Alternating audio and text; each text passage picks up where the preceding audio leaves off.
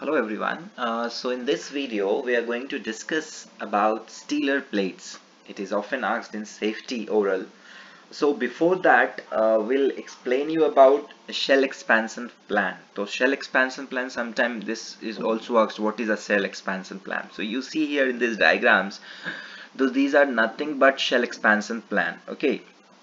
It is a prefabricated ship ship plated at slip. Okay. Now uh, if when we it's a 3d rep representation sorry it's a 2d representation of a 3d form hull shape. Okay. Hull will be in 3d uh, 3d form.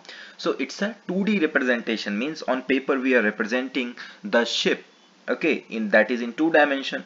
So uh, the 3d representation of a hull form uh, 2d representation of a hull form in of a 3d hull form vessel that is known as shell expansion plan. Okay now when we talk about Stealer plates now see here. Now the girth of the ship decreases towards the end and so the width of the plate must be decreased in these parts.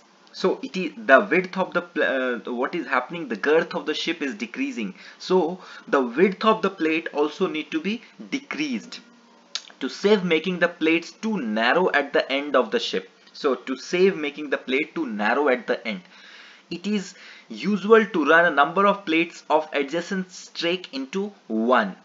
This is done by means of a Stealer plate. So number of plates are uh, uh, made into one plate. Okay, I'll show you in the diagram.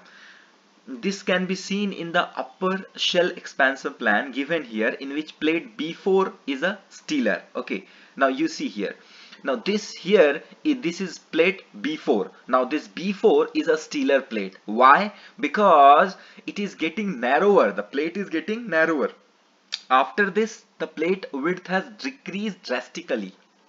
Okay uh, uh, so the uh, um, means we can tell that the uh, width of the vessel is also decreasing. So the girth of the ship is decreasing. So the plate dimensions plate thickness you can tell that also has to be decreased. So you see here uh, B and C both have become one. So this plate B4 that is known as Stealer plate. Okay now uh, the uh, you may you may have a question that which name it will take. So the lower plate name it takes. So it uh, so that is the reason you see here b3 b4 and then it becomes uh, b5 or b5 b4 okay.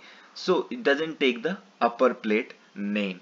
So the same thing is written here. This can be seen in the upper shell expansion plan given here in which plate b4 is a Stealer. Since it runs runs the B and C strake into each other. So B and C strake is running into one strake. Okay, this is B, this is C strake, it is running into one strake. So that is the reason why, why B4 is known as a Stealer plate. It is making two strake run into one strake, reducing the thickness altogether because the ship uh, girth is also decreasing